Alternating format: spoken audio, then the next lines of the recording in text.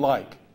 And we found out, without knowing what Ava found out, we found out that he liked the same thing that Ava found out.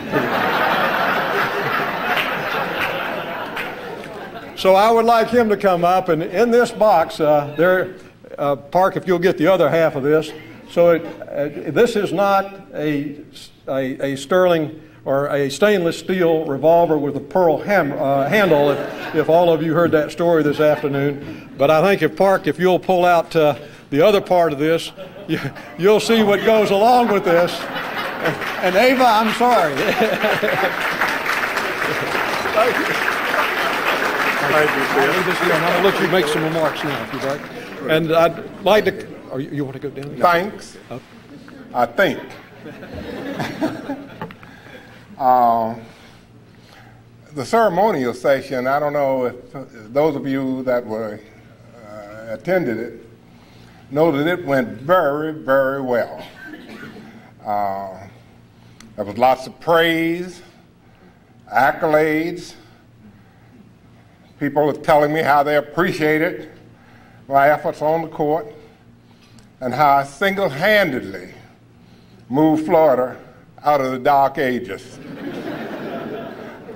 and I expected, quite frankly, tonight's program to be of the same high caliber, with the added attraction of a fine dinner. I like that little bird.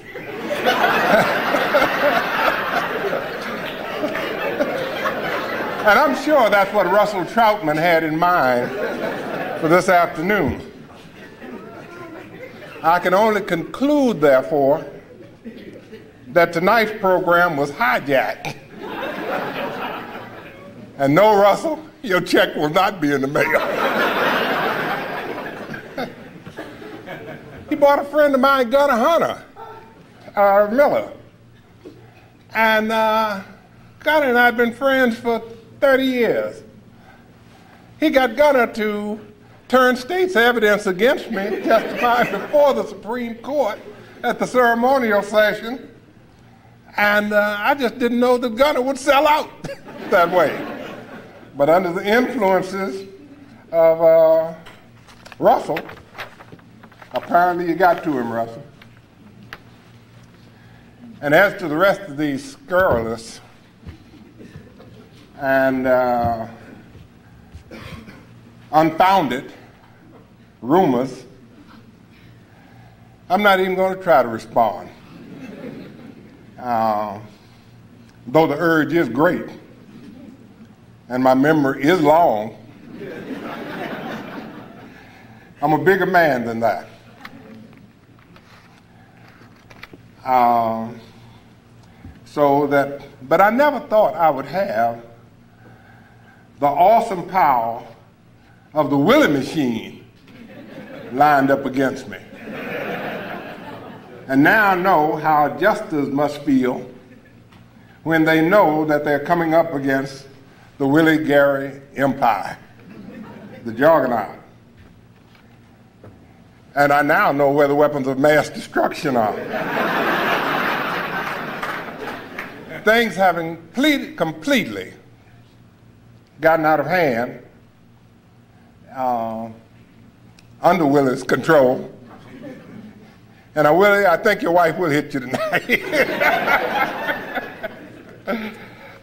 I'm gonna try to bring some sense of decorum and dignity uh, back to this occasion by sharing with you uh, the first few months of my retirement.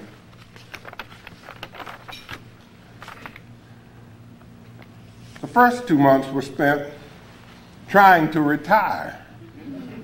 The paperwork and details are staggering.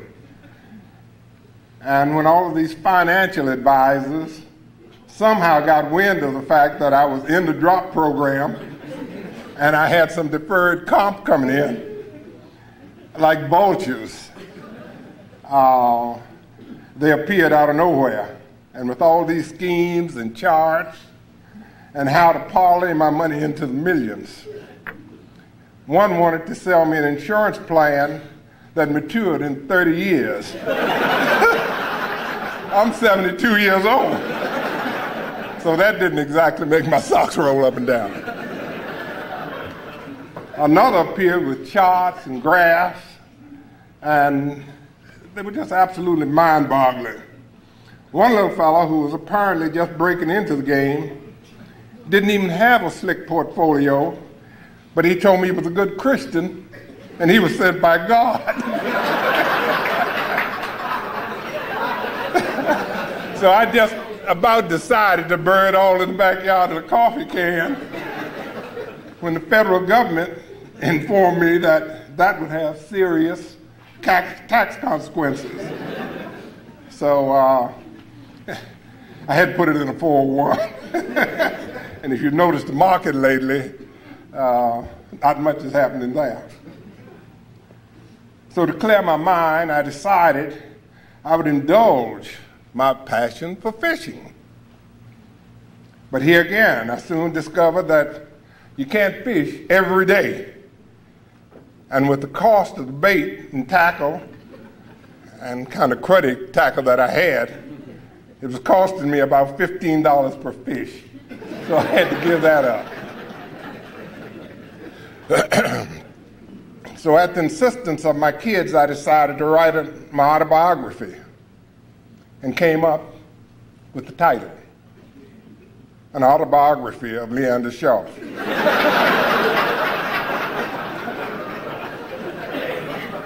After several false starts and sleepless nights, I finally concluded that I didn't know enough about the subject matter to continue. so I'm now writing a more useful book. Uh, like most great artists and writers, and, uh, the title uh, came to me out of the blue, and I wrote it down on a napkin. I meant to bring that napkin with me tonight to uh, give to Russell, and I, I, will give it to you, Russell, if you get back with me, and uh, so you can remember this occasion. So I decided to write uh, the title a short explanation to practically any and everything worth knowing in the world.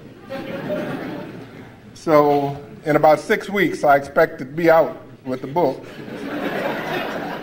and if you want to really help me out, you can buy the book.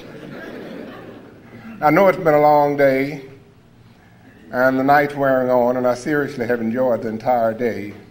And I'd like to thank everyone who's participated. These are all my friends. I love them, and that's why I can joke with them and they can joke with me. I'd like to thank the Supreme Court Historical Society for tonight and especially thank Ben and Russell and the members of the committee uh, that organized Uh, the affairs today. I'd like to thank Dean Luney for his efforts on behalf of guiding Florida A&M University Law School through its formative years. We all need to get behind the dean and do whatever we can to see that law school is a success, and I know it will be.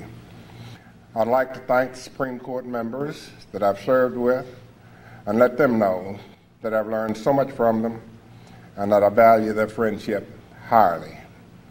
I'd like to thank my aides, my JA, and court personnel who made my job so much easier and made it such a pleasure.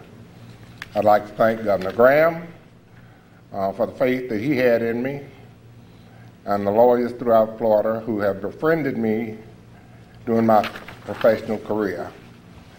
I know that I've, I've possibly left out uh, somebody very important, and I apologize for that. And if, if that person would stand there, I'll recognize him. Uh, but it's really been a pleasure. So God bless you all, and thank you.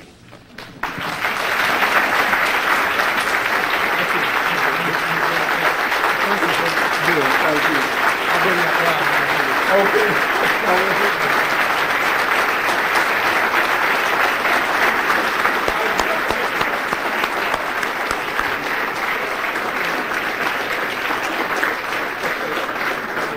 Let me just point out that I think that we have seen today the, the, what, a, what a really great man, a great professional truly is. The one thing I do want to explain to you is that Justice Shaw is from Jacksonville, and ordinarily we would have the oral history program in Jacksonville.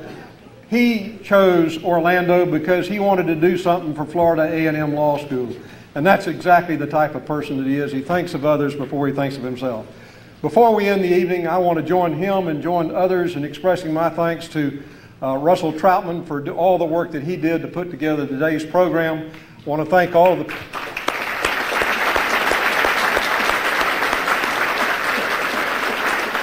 Thanks to the Orange County Bar Association and Brian Wilson, Brian, for all the work that you and your association have done to bring together this, uh, this evening and this afternoon. And thanks to Park Trammell, who is our executive director. Uh, Park, would you stand, the executive director of the, of the uh, Historical Society?